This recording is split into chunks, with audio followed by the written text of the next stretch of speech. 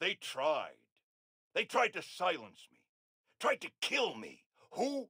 Whoever engineered Rhino's escape and sent him careening through my studio right in the middle of recording my charity Christmas special. Think of the children. And think of me. Because J. Jonah Jameson refuses to be silenced. So, in my tireless mission to bring you just the facts, I'm holding my nose and broadcasting from my producer Jared's disgusting hovel of a studio apartment that he shares with. How many others? Five? Good Lord, Jared, when I was your age, I owned a two bedroom on the Upper West Side. Your generation. I swear. anyway, if you are wondering who arranged Rhino's escape and pointed him right at your favorite truth speaker, witnesses on the ground are saying both Spider-Men showed up at the exact moment Rhino broke free. Coincidence? I think not.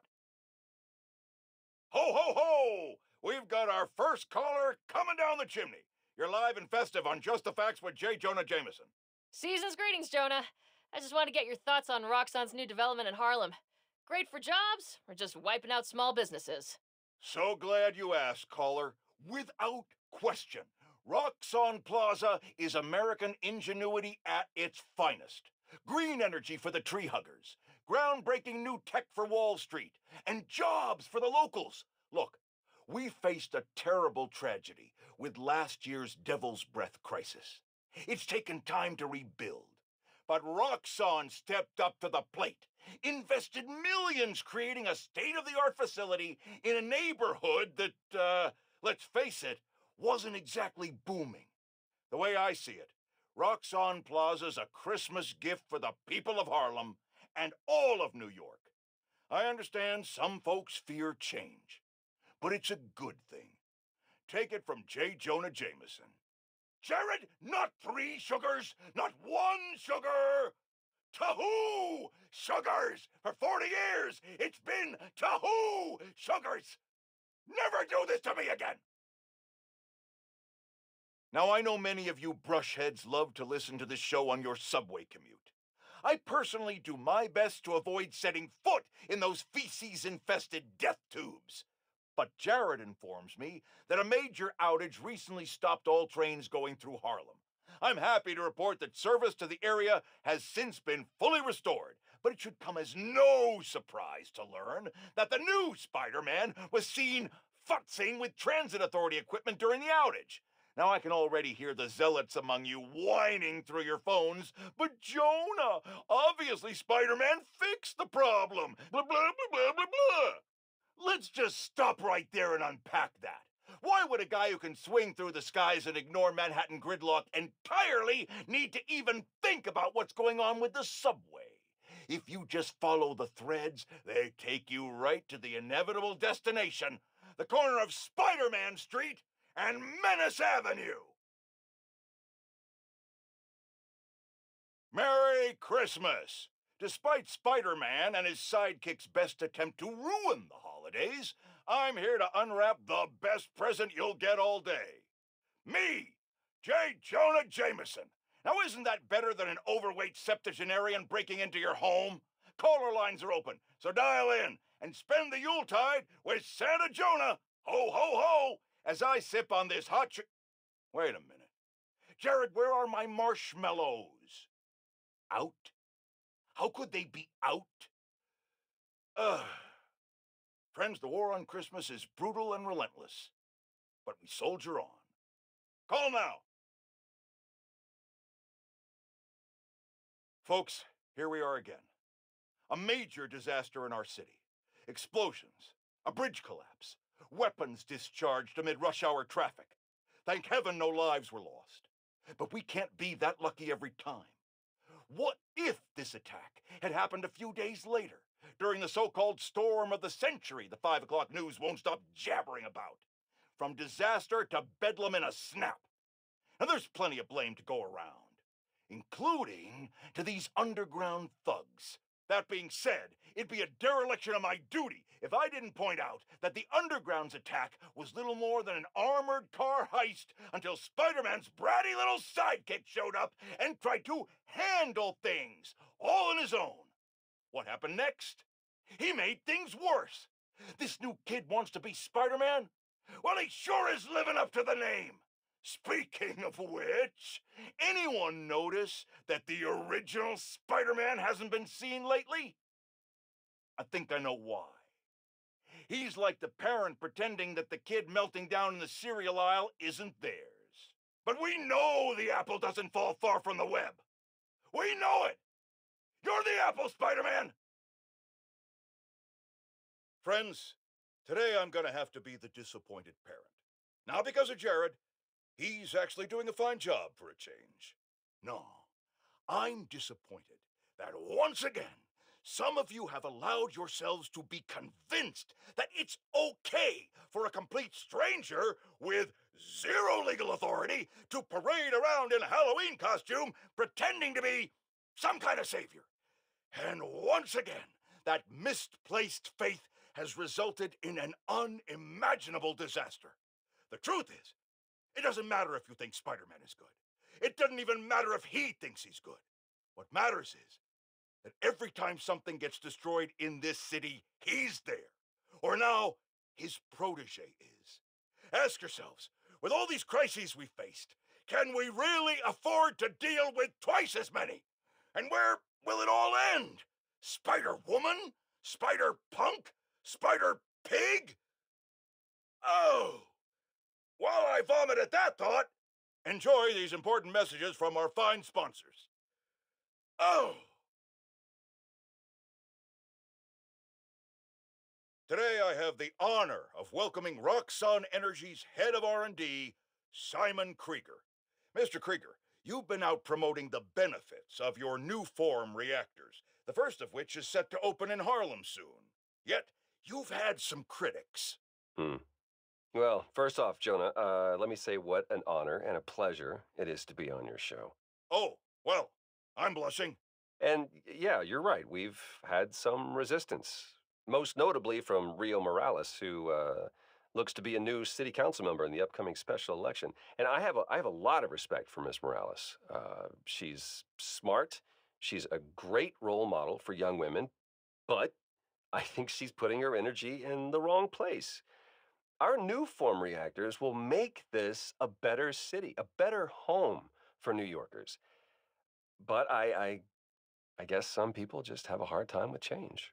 Let me give you some advice. One highly successful man to another. You know what I like to say to my critics? You and the horse you rode in on. well, okay, I I, uh, I admire your conviction. You're uh, you're a man who's not afraid to pay a fine in order to make uh, your point. Fine? What do you mean? Jared, how much? Do your editing thing, quick!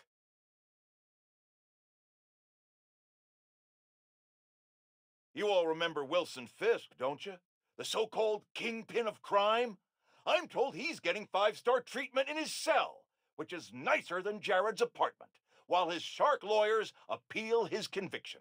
But it seems there may be some justice in the world after all, because a new Daily Bugle expose reveals that his now dilapidated Fisk Tower, which is scheduled for demolition in the new year, has been taken over by squatters. And isn't it just perfect karma that this garish monument to the ego of a guy who always felt he was above the law has been overrun by a bunch of freeloading bums? Next thing you know, Spider Man turn the joint into his personal headquarters. So how does it feel to be hoisted on your own petard, Wilson? No, Jared, that is not an obscenity. Read a book! Stop me if you've heard this before. Spider-Man chases villain through city. Millions of dollars of property damage follow. We're still tallying up the damage from Rhino's rampage, then the bridge disaster, and now it seems the junior menace decided to go for the hat trick with his new frenemy, the Tinkerer. I say those two should get a room, preferably a prison cell, and hash out their differences in private, somewhere very, very far from New York. and I don't just mean Jersey, I'm talking Oregon or even Alaska, then maybe I could have one peaceful night at home watching the great Wakandan cook off without getting interrupted by my fire escape being torn off the side of my building. Darn it, that reminds me. Jared, did you set my DVR? Batten down the hatches, folks. The long presaged storm of the century, one heck of a blizzard, is blowing in. Make sure you're stocked up on supplies. My loyal listeners will already have plenty of Jameson's jerky, guaranteed to last longer than radioactive fallout. Meanwhile, if you're planning on taking the in laws to visit Trinity Church, I got some bad news. Parts of this sacred local landmark are now rubble following yet another skirmish involving Spider Man and the Tinkerer. Thankfully, Roxxon was able to secure the scene quickly. The current whereabouts of either masked menace are unclear. But right now, that's secondary to the fact that Roxxon has generously offered to pick up the cost of Trinity's restoration, even though the damage was caused through no fault of their own. That's the kind of selfless giving we need more of this time of year, folks. Roxxon just made my nice list. I'll give you three guesses who's on the naughty list. And they all start with Spider and end in Man. Listeners, you all know that I pride myself on truth, integrity, and facts. I've been tough on this new Spider Man since the disaster on Braithwaite Bridge. For good reason. The kid screwed things up so bad, even the original model would have blushed redder than his costume. The classic one, not that ugly new thing. But today, I must also acknowledge that the city is rallying around this youngster and proclaiming him uh, a hero. With an unstable energy source on the verge of wiping Harlem off the map, this youthful Spider Man reportedly stepped in and saved lives. Or at least that's what his supporters want us to think. The real truth is that none of this would have happened if he hadn't donned a ridiculous suit and started swinging willy nilly around the city, performing reckless acts of violence. Hero? More like zero? Ha! Jared, open up the lines. I want to hear from those who agree with me. Jared? I said open up the lines. What do you mean they're open? Well, something must be wrong. Folks, we're having technical difficulties. Please stand by.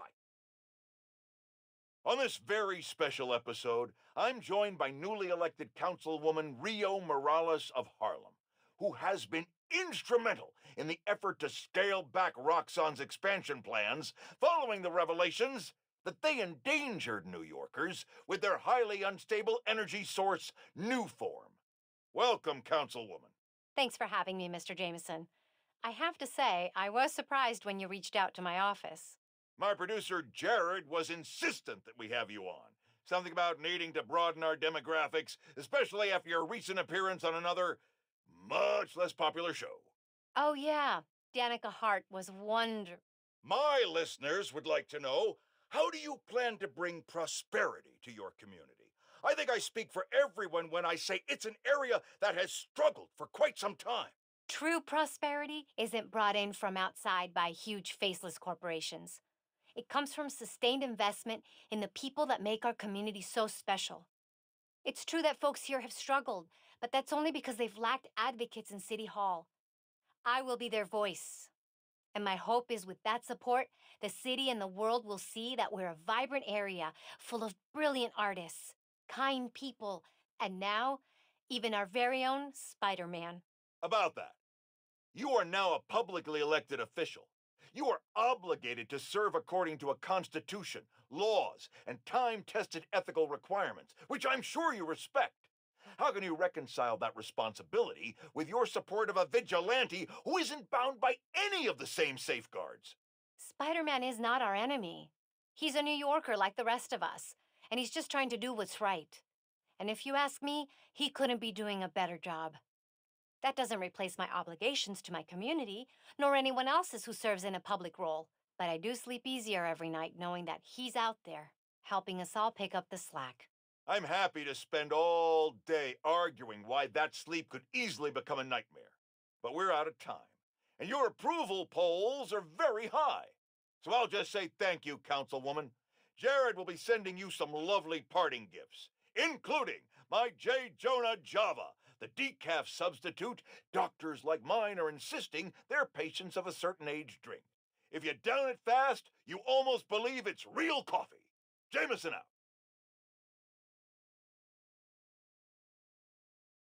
Friends, small businesses are the backbone of America, and they have no greater champion than J. Jonah Jameson.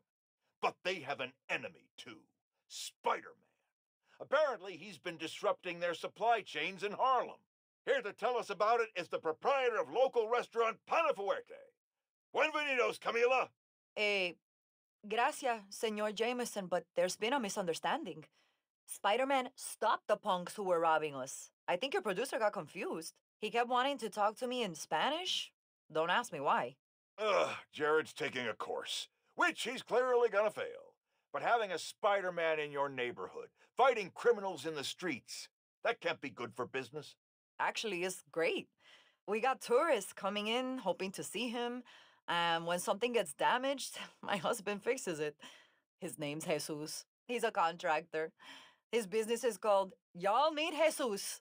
Anything gets messed up, he's your guy. Thank you. I think we can all use Jesus right about now. Especially Jared, as soon as we cut to commercial. I said cut to commercial. Take your medicine like a man. Folks, the Feast Centers have had a rough go ever since their founder, Martin Li, turned out to be the mad bomber known as Mr. Negative. But I believe in the Feast Centers because I knew May Parker, the brave woman who literally gave her life to keep them going. So I was distressed to hear the Harlem branch recently suffered a damaging flood. With us is Gloria, director of that center. Yeah, thanks. Uh, anyone who wants to donate to the cleanup, check out our website. It's tax deductible. Wonderful. I'm donating 10% of my paycheck for this week, and half of Jared's. Now, I'm hearing Spider Man may have been responsible for the flood. No way. Someone was responsible, but it wasn't Spider Man. Follow the money. Who benefits from lower property values? And I'm going to stop you there, because we have a strict policy of not saying anything that will get me sued. Incidentally, I'm pretty sure Spider Man can't afford lawyers. It wasn't Spider Man. We're out of time. Thanks so much for joining us, Gloria. And remember, everyone, if you want to be a real hero, not like a certain masked menace, donate to Feast. Jared, cut her mic before I end up in the poorhouse. Today, I want to address some rumors making the rounds of the pool halls and sleazy bars. Supposedly, Wilson Fisk has been trying to destabilize Harlem in order to make it cheaper and easier for him to acquire properties. All from behind bars. Now, you all know my distaste for conspiracy theories. If there's proof, I will be the first to condemn malfeasance. But until that happens, it is poisonous, irresponsible, and wrong to repeat such baseless and inflammatory claims. That's the kind of behavior I'd expect from someone like Spider Man, who several people have told me enjoys a destabilized neighborhood himself because it creates more crime and thus more opportunities for him to make himself look good. So, let's be careful what we say and stick to the facts. Okay, people?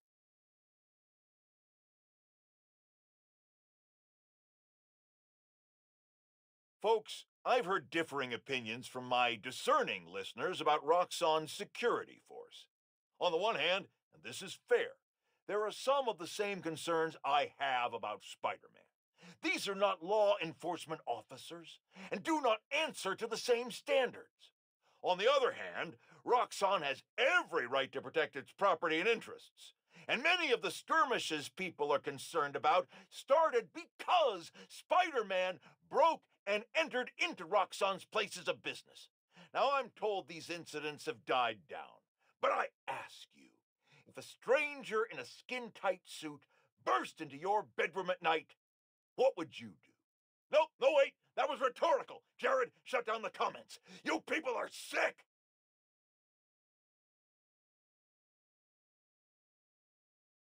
Good news, friends. My sources say underground activity has subsided significantly, and the Tinkerer is officially presumed dead. We survived the storm of the century, and our wounds are healing. But New Yorkers must remain ever vigilant.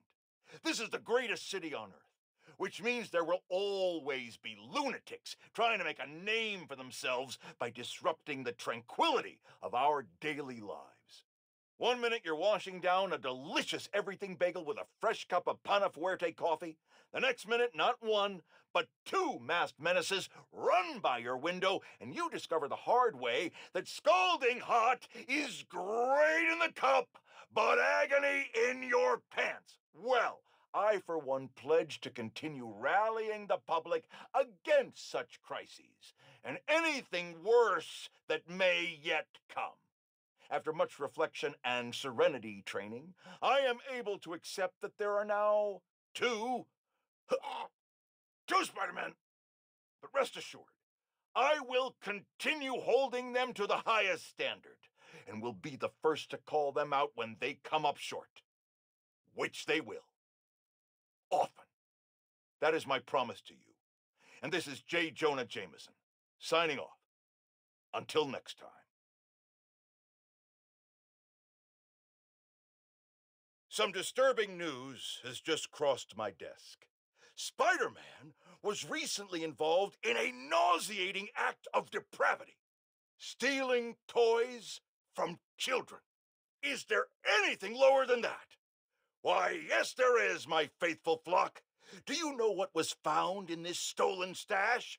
Spider Man toys. Not only does he steal from children, he bullies them into playing with toys they probably don't even want. The nerve! The audacity! Which is why I'm announcing a new venture for the Just the Facts team. J. Jonah Jameson action figures. I have a prototype right here in front of me, and let me tell you, this is one handsome toy.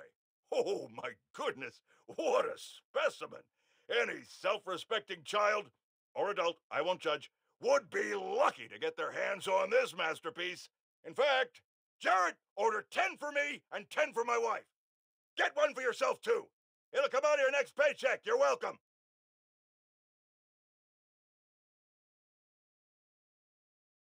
Listen up, people. I finally have scientific proof that Spider Man is a crime against nature. Allow me to explain. A recent incident involving a construction crane and a tiny bit of ice turned into a spider snafu when the masked menace decided to intervene. The result? A disaster the likes of which this city has never seen. We have yet to receive a body count, but I can assure you it will be. What's that? I'm being told no lives were lost, thank heavens, but the number of injured is likely significant. We're still awaiting word from local hospitals on just how many. Seriously? I'm now being told there were no injuries. However, this doesn't change the fact that this tragedy could have been avoided if Spider Man had just let nature take its course. Jared, get me new fact checkers! I know they're your roommates. Get me new ones. Get rid of the one with the beanie.